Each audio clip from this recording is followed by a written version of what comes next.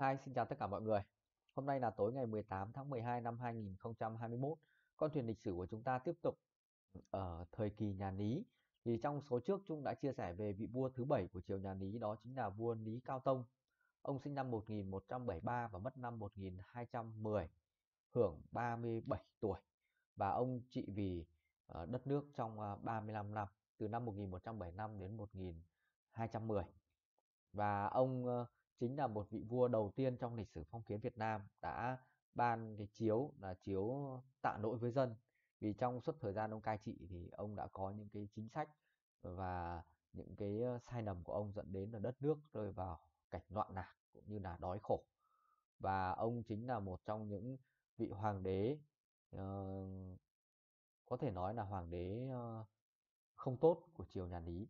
Thì sáu vị hoàng đế trước đó đều là những vị hoàng đế sáng và làm cho đất nước ờ, Thái Bình thịnh trị gọi là một thời kỳ uh, bách niên thịnh đế. Tuy nhiên đến vị vua thứ bảy của triều nhà Lý trị vì trong 35 năm thì uh, bắt đầu chính sự rối ren và bản thân ông cũng sa đà vào việc uh, ham mê săn bắn uh, đi uh, du hí khắp mọi nơi và vơ vét của cải của nhân dân để xây dựng đình đền chùa tràn lan dẫn đến nạn đói. Và khi mà uh, có thiên tai dịch bệnh thì bình thường đất nước đã vào cảnh khó khăn rồi nhưng khi có thiên tai dịch bệnh thì người dân rơi vào cảnh chết đói hàng loạt cũng như là có những nhà uh, đã bị phá sản. Những, những, những thương nhân thì bị phá sản còn những người nghèo thì bị chết đói. Chính vì vậy mà lòng dân không theo và uh, loạn lạc đổ ra khắp mọi nơi. Và đến cuối đời ông thì ông đã ban ra cái chiếu tạ lỗi với dân. Tuy nhiên thì sau đó thì hai năm ông đã mất vào năm 1210 và đây cũng được đánh giá là cái chiếu thì cũng chỉ là để mà chiếu mà thôi thì uh, trong số ngày hôm nay thì Trung xin được chia sẻ về vị vua thứ 8 của nhà Lý đó chính là vua Lý Huệ Tông Lý Huệ Tông tên thật là Lý Sảm là con trai trưởng của Lý Cao Tông mẹ là hoàng hậu họ Đàm sinh vào tháng 7 năm Giáp Dần 1194 tại kinh đô Thăng Long, Đại Việt. Năm Mậu Thìn 1208, ông được vua cha lập làm thái tử, lúc đó ông đã 15 tuổi. Năm 1209, vua Cao Tông nghe lời gian thần Phạm Du giết trung thần Phạm Bình Di. Bộ tướng của Bình Di là Quách Bốc khởi binh báo thù cho chủ. Đánh vào kinh thành, lập con thứ của vua là Lý Thầm làm vua. Vua Cao Tông chạy lên Quy Hóa, công chúa cùng mẹ và hai em gái chạy về Hải ấp, nơi Trần Lý cai quản. Trần Lý là Trần Lý và Tô Trung Từ bèn đón Vương Tử Sạp lập làm vua tôn xưng là thắng vương thái tử sảm thấy con gái của trần lý là trần thị dung có nhan sắc bèn lấy làm vợ nhân đó trần lý được phong làm hải minh tự tô trung từ làm điện tiền chỉ huy sứ biết tin thái tử giảm lập triều đình riêng và tự ý phong tước cho trần lý tô trung từ phạm ngu nên vua lý cao tông ở quy hóa muốn đánh dẹp bèn sai phạm du đi để liên lạc với họ đoàn đoàn thượng đoàn văn nôi ở vùng hồng nhưng du trễ nải công việc bị quân của hào trưởng bắc giang là nguyễn nậu và Nguyễn Nải giết chết. Trần Lý và Tô Trung Từ bèn mang quân đánh về Kinh, Ờ, thành dẹp Quách Bốc để nập công với nhà Lý. Cuối năm 1209 loạn Quách Bốc bị dẹp, Trần Lý tử trận.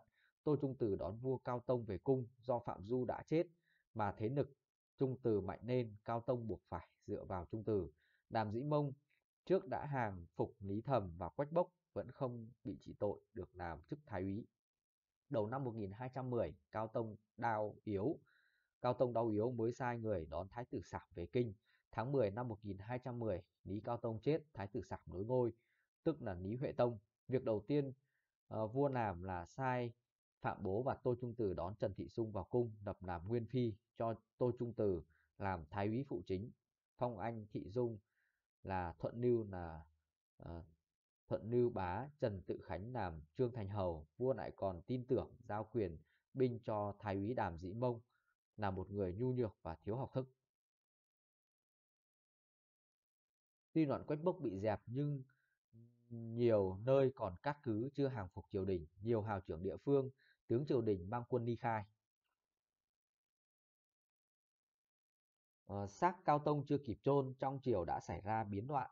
Tô Trung Từ trở thành quyền thần trong triều tháng 12 năm 1210, Đỗ Kính Tu nhận ủy thác của vua, trước là Cao Tông mưu giết Trung Từ nhưng không xong bị Trung Từ bắt dìm chết dưới nước ở bến Đại Thông. Sau đó, nội hầu Đỗ Thế Quy cũng mưu phát à, binh giết Trung Từ không thành cũng bị Trung Từ giết chết. Tháng 7 năm 1211, Tô Trung Từ đang đêm sang Gia Lâm tư thông với công chúa Thiên Cực bị quân nội hầu Vương Thượng à, là chồng công chúa giết chết, con rể Trung Từ là tướng quân Nguyễn Ma Na bị tướng dưới quyền Nguyễn Trinh giết. Trần Thừa lập kế giết Nguyễn Trinh. Trần Tự Khánh nhân lúc ờ, kinh thành bỏ trống, lập tức mang quân về kinh sư an táng người cậu Tô Trung Tử ở nàng Hoạch.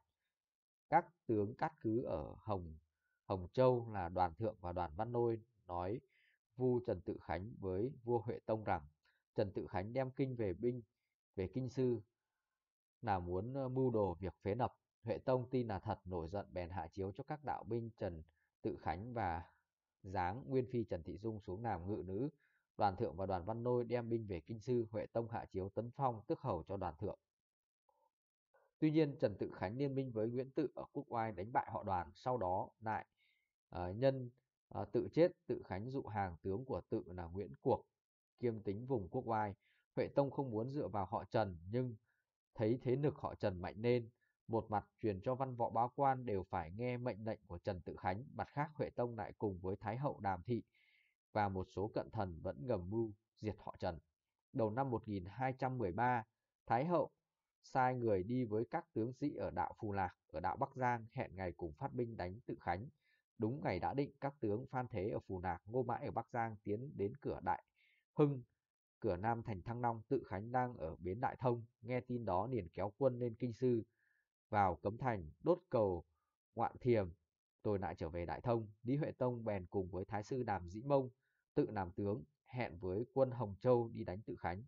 Đến Mễ Sở gặp quân của họ Trần, do Vương Lê, Nguyễn Cải chỉ huy hai bên giao chiến, quân của Nê Cải mới hò reo tiến quân, quân triều đình đã tự tan vỡ. Vương Lê, Nguyễn Cải bắt được thuyền rồng. Cánh quân đạo Bắc Giang do Thái sư Đàm Dĩ Mông xuất bến tới An Diên Thường Tín Hà Nội. Hà Tây thì bị quân của Trần Thừa tiến đánh. Em họ Trần Tự Khánh là Trần Thủ Độ cùng Trần Hiến Sâm ở Tà Ngạn cũng tiến đánh thẳng quân triều đình. Các tướng họ Trần khác là Phan Nân, Nguyễn Nộn từ Quốc Oai tiến đến chợ Dừa đánh thắng các tướng ở Hồng Châu, là đoàn cấm Vũ Hốt, Lý Huệ Tông thất thế phải chạy lên Nạng Châu, ở nhà Phò Mã, đồng thời là quan nội hầu Vương Thượng, chồng công chúa Thiên Cực. Trần Tự Khánh đánh chiếm được kinh đô sai người đem thư lên Nạng Châu gặp Huệ Tông để nước về, nhưng Huệ Tông không nghe. Đón không được Huệ Tông về kinh, Tự Khánh đón một người con của Lý Anh Tông là Huệ Văn Vương lập làm vua mới, hiệu là Nguyên Vương, cải nguyên là Càn Ninh. Các bộ tướng của Trần Tự Khánh đã các bộ tướng của Trần Tự Khánh là Đỗ Bị, Nguyễn Nộn phản lại Tự Khánh khiến tình hình thêm rối ren. Nguyễn Nộn ở Bắc Giang sau khi đánh bại một cuộc tấn công của họa đoàn, bèn phản lại Tự Khánh xây dựng một thế lực rất lớn. Tự Khánh lấy hết vàng bạc, của cải, các kho và phóng hỏa đốt kinh đô rồi đón vua mới là Càn Ninh xuống hành cung Lý Nhân Hà Nam. Nguyễn Độn đem binh đến Thăng Long đánh nhau với Tự Khánh, Huệ Tông và Thái Hậu đang ở Nam Sách trở về Thăng Long, phong cho Nguyễn Độn tước hầu để mượn tay Nộn chống họ Trần. Cục diện trong nước lúc này đại thể tình hình là ba thế lực, phía Bắc là Nguyễn Độn, phía Đông là Đoàn Thượng, phía Nam là Trần Tự Khánh. Ngoài mấy lực lượng lớn còn những lực lượng nhỏ ở các địa phương, một thế lực cát cứ khá quan trọng là Ô Kim Hầu, Lý Bát ở Ô Kim Hoài Đức Hà Tây, ở Quy Hóa, miền Yên Bái, Tuyên Quang, dọc sông Hồng có họ Hà, cha truyền con nối cai trị đất trại này. Ngoài ra còn có họ Phạm và Nam Sách khắp nơi trong nước vẫn trong tình trạng hỗn loạn. Đầu năm 1214, Huệ Tông chạy đến Hương Bình, Hợp, xã Tam Hiệp, huyện Phúc Thọ, Hà Tây. Trần Tự Khánh được hảo trưởng địa phương Đỗ Năng Tể giúp đỡ lấy lại được Bình Hợp, rồi đem quân bao vây Thăng Long, đốt cung điện, phá nhà cửa. Huệ Tông phải dựng nều tranh để ở. Đầu năm 1216, Huệ Tông lại nập Trần Thị Dung, trước bị giáng xuống làm ngự nữ làm thuận trinh phu nhân. Đàm Thái Hậu cho Trần Tự Khánh là kẻ phản chắc, thường chỉ vào Trần Thị Dung mà nói là bè đặc của giặc, bảo Huệ Tông đuổi bỏ đi, lại sai người nói với phu nhân, bảo phải tự sát. Huệ Tông biết, bèn ngăn lại, Đàm Thái Hậu bỏ thuốc độc vào món ăn uống, vào món ăn uống của phu nhân, mỗi bữa ăn vua chia cho phu nhân một nửa và không lúc nào cho rời bên cạnh. Tháng 4 năm 1216, các tướng của Cảo xã Nhật Tảo từ Niêm Hà Nội là Đỗ Át, Đỗ Nhuế chống lại triều đình. Lý Huệ Tông dựa vào Lý Bát sai bát đánh lại nhưng không thắng. Trước tình thế đó, Huệ Tông đành quay về nương nhờ anh em họ Trần. Trong khi đó, ờ, khi đó trong triều Đàm Thái Hậu ngày càng muốn giết Trần Thị Dung sai người cầm chén thuốc độc bắt phu nhân phải chết. Huệ Tông ngăn lại không cho, rồi đêm ấy cùng với phu nhân lẻn đi đến chỗ quân của Tự Khánh gặp khi trời sáng phải nghỉ lại ở nhà tướng quân Nê Mịch ở huyện Uyên Duyên, gặp tướng của Tự Khánh là Vương Nê đem binh thuyền để đón. Huệ Tông bèn đỗ lại ở bãi Cửu Niên và truyền cho Tự Khánh đến chầu. Tự Khánh đón được Huệ Tông, bèn phế Nguyên Vương mà mình từng đưa lên ngôi xuống làm Huệ Văn Vương. Tháng 12 năm 1216, Thuận Trinh Phu Nhân, tức Trần Thị Dung được phong làm Hoàng Thái Hậu. Từ lúc đó, anh em thân thuộc họ Trần chiếm hết các chức văn võ quan trọng trong triều. Tự Khánh làm phụ chính thái úy, Trần Thừa làm nội thị phán thủ, Trần Thừa cho đúc vũ khí, dần dần chấn chỉnh lại quân đội. Vua Huệ Tông lại bị trúng phong, đau yếu luôn, không đi đâu được, lại không uh, sinh được hoàng tử, chỉ có toàn công chúa. Tháng 3 năm Đinh Sửu 1217, vua phát điên. Nhiều lúc tự xưng là thiên tướng giáng trần, tay cầm giáo và mộc, cắm cờ nhỏ vào búi tóc và múa hát. Ta đây là tướng nhà trời, hôm nay giáng thế cho người sợ oai. Từ sớm đến chiều không nghỉ. Khi múa xong thì đổ mồ hôi, nóng bức khát nước, uống rượu, ngủ ni bì đến hôm sau mới tỉnh. Chính sự giao phó cả cho Trần Tự Khánh, Tự Khánh ra tay đánh dẹp các lực lượng cát cứ của Đỗ Bị, Lý Bát, Hà Cao, đoàn thượng thấy thế lực họ Trần mạnh, tạm quy hàng triều đình, được phong tước vương và vẫn giữ được vùng Hồng Châu. Năm 1223, Trần Tự Khánh chết, quyền lực lại rơi vào tay em họ Trần Tự Khánh là Trần Thủ Độ. Anh Tự Khánh là Trần Thừa được phong là phụ quốc thái úy. Năm 1224, bệnh vua càng nặng hơn, vua đem chia cả nước làm 24 nộ chia cho các công chúa lại phong Trần Thủ Độ làm điện tiền chỉ huy sứ đến tháng 10 dưới sức ép của Trần Thủ Độ, ông chính thức nhường ngôi lại cho con gái là công chúa Chiêu Thánh mới lên 8 tuổi, tức là Lý Chiêu Hoàng. Huệ Tông lên làm Thái Thượng Hoàng và đi tu ở chùa Bát Tháp, lấy pháp danh là Huệ Quang Đại Sư. Không lâu sau, Trần Thủ Độ sắp đặt để Lý Chiêu Hoàng nhường ngôi cho chồng là Trần Cảnh, tức là Trần Thái Tông. Nhà Lý mất về tay nhà Trần từ đó năm 1225 Khi làm sư, Huệ Tông vẫn thường đi dạo chơi trong kinh thành một hôm. Ờ, đi chơi qua chợ đông, dân chúng nhận ra xuống lại xem có người còn khóc thương. Năm 1226, chân thủ độ sợ lòng dân nhớ vua cũ, bèn chuyển Huệ Quang vào chùa chân giáo. Một lần thủ độ thấy Huệ Tông nhổ cỏ ở vườn, thủ độ nói, nhổ cỏ thì phải nhổ cả rễ sâu. Huệ Tông nói, điều ngươi nói ta hiểu rồi. Sau đó ông tự tử ở sau vườn trước khi chết còn khấn. Thiên hạ nhà ta đã vào tay ngươi, ngươi lại còn giết ta, ngày nay ta chết đến khi thác con cháu ngươi cũng sẽ bị như thế. Lý Hạo Sảm mất ngày 10 tháng 8 năm Bính Tuất, tức ngày 3 tháng 9 năm 1226, thọ 33 tuổi, làm vua 14 năm, đi tu 2 năm, thủ độ cho hỏa táng xác ông, chứa xương vào tháp chùa Bảo Quang, tôn miếu hiệu là Huệ Tông. Có người nói rằng lời nói trước khi chết của ông sau này ứng nghiệm khi Hồ Quý Ni giết hại nhiều tôn thất nhà Trần, sau rồi xoán ngôi và lập ra nhà Hồ. Theo Đại Việt Sử Ký Toàn Thư, tục truyền rằng vua Lý Thái Tổ khi mới lên thiên hạ, khi mới được thiên hạ xa giá về cổ pháp tại chùa nàng Phù Độc có thần nhân đề thơ ở cột chùa rằng nhân bát công đức thủy tùy duyên hóa thế gian quang quang trùng chiếu trúc một ảnh nhật đăng san nghĩa là một bát nước công đức của Phật theo cơ duyên sinh thành thế gian vằng vặc hai lần đuốc soi sáng mặt trời rác núi là hết bóng. Sư Vạn Hạnh trụ trì chùa ấy đem bài thơ dâng lên vua, Lý Thái Tổ xem xong rồi nói, việc của thần nhân, à, việc của thần nhân thị không thể hiểu được, đến khi họ Lý mất ngôi mới cho bài thơ ấy là nghiệm. Có người làm phép chiết tự cho rằng ông tên là Sảm, theo Hán tự thì bên trên có trên là chữ nhật là mặt trời, bên dưới là chữ sơn là núi nghĩa là Sảm. Chữ Sảm nghĩa là mặt trời gác núi theo đó ờ, theo nghĩa đó mà suy thì đời lý sản ngôi vị nhà lý sẽ mất.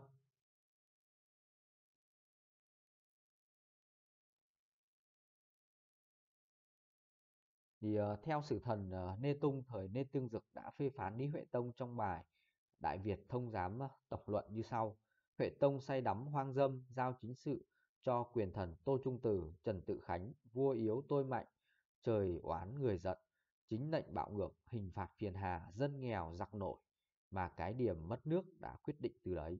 Trong Đại Việt Sử Ký Toàn Thư, Ngô Sĩ Niên bàn về việc Lý Huệ Tông truyền ngôi cho con gái để đến nỗi cơ nghiệp nhà Lý mất về tay nhà Trần như sau. Đời sau chỉ truyền ngôi cho con mà không truyền ngôi cho người hiền, vì là không có người nào được như Thuấn và Vũ. Nếu không may mà con, nếu không may mà không có con thì chọn ờ, con của người tông thất uh, nuôi làm con mình để giữ nghiệp lớn. Đó cũng là một cách xử trí trong lúc biến vậy.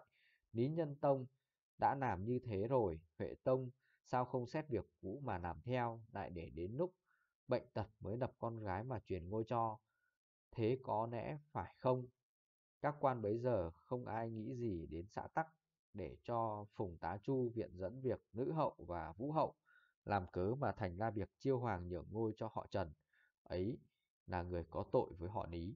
Tuy nhiên, khi đưa ra nhận định này, sử gia Ngô Sĩ Niễn dường như đã không thấy một thế lực và một thực tế rằng nhà Lý đã không còn quyền từ loạn quách bốc phải dựa vào các hào trưởng địa phương và nếu không có họ Trần, họ Nguyễn hoặc họ Đoàn cũng sẽ trở thành quyền thần trong triều.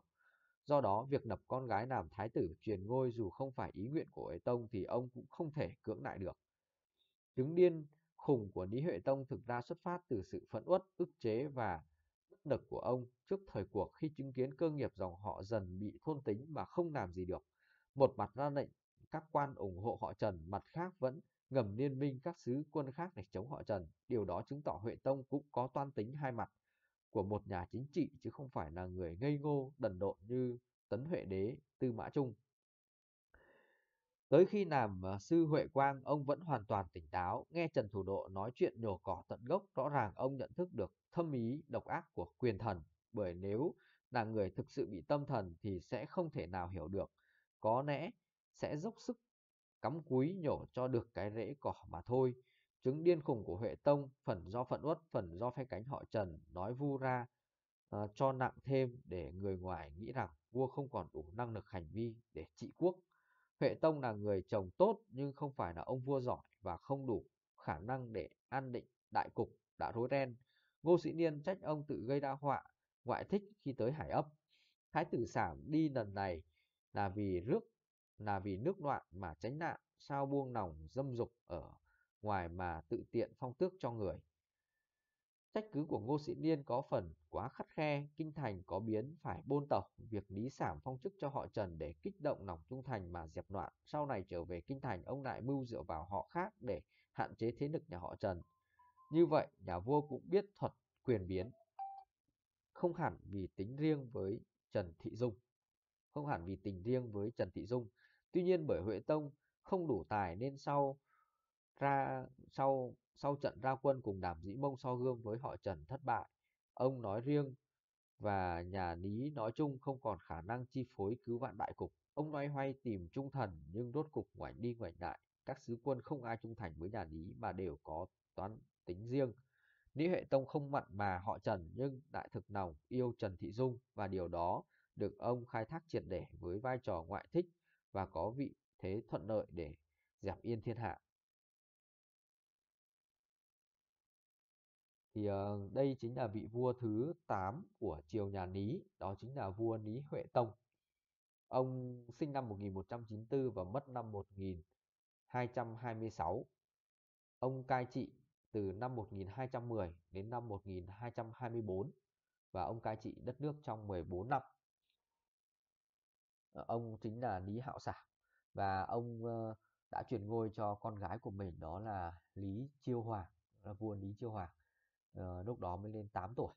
Thì uh, đây cũng là một vị vua uh, thứ 8 và cũng là một vị vua chuẩn bị kết thúc của triều nhà Lý thì triều nhà Lý uh, kết thúc vào năm 1225 thì trong số sau chúng sẽ chia sẻ về vị vua thứ 9 của nhà Lý đó chính là vua Lý Chiêu Hoàng. Thì uh, hôm nay cũng là cuối tuần rồi thì chúc cho các bạn và gia đình có một buổi tối thật uh, nhiều niềm vui và hạnh phúc. Xin chào và hẹn gặp lại ở những video tiếp theo.